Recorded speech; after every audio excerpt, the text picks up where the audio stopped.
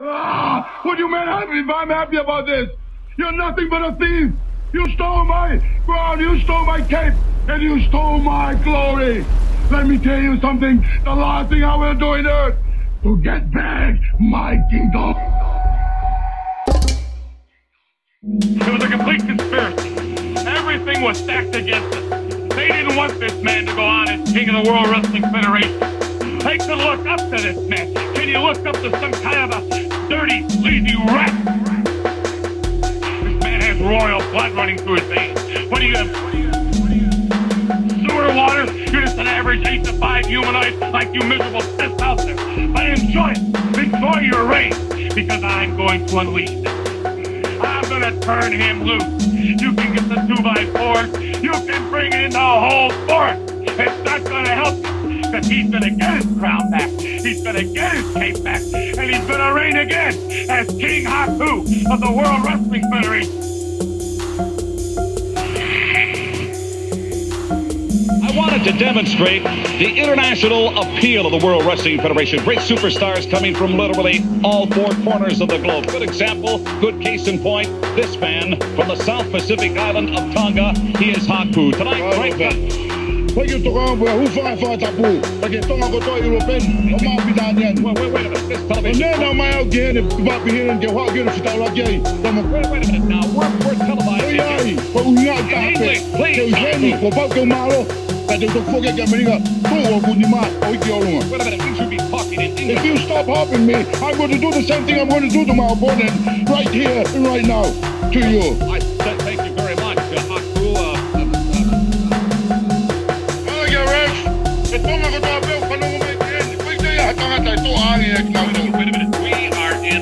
America, please. You can speak English. You've been here long enough. We all know that.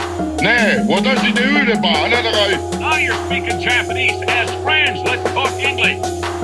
voulez-vous? Now that's French. Bonjour! Oye, wala wala yawan, na na bala ka dua. Please. He's uh, right now sizing you up because it's his biggest match today. Ay, mo job, alright, church, manya, ya, look, look. Wait a minute. Am I going to get any English out of you here tonight or not? wa, wala wala yawan, man, na bala ka la, la, diya. You understand, adios? Adios. hails from the island of Tonga. Let me bring him on in here. Wherever you go, it seems that a lot of the Tonganese, the Samoan people, the island people, they come from wherever they've got to come from just just to watch you compete. That must make you feel What are you good. trying to say? You're trying to say, Mr. Major, that, uh, we are rowing the canoe all the way here? That's why we're so big like this, because we rowed the canoe all the way from the island. And let me tell you something, everywhere we go, there's always a lot of Tongans there. Come on, we talk about the Fijians, Tahitians, you name the whole South Pacific, the Hawaiians, they all are and Lord there. What? You do what? You didn't get that? No, I didn't get the last one. But that's okay. As a matter of fact, this is a great opportunity for you to speak directly to the people of the islands about what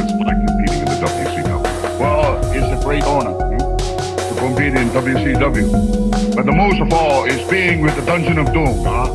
We always ready for any kind of action. Call us and we'll be there to take over. On WCW, NWO, Four Horsemen, whoever you want to put in front of us, we're going to take care of them. Why is it that people refer to you as the monster? Monster. Yeah, they say the monster's turned loose.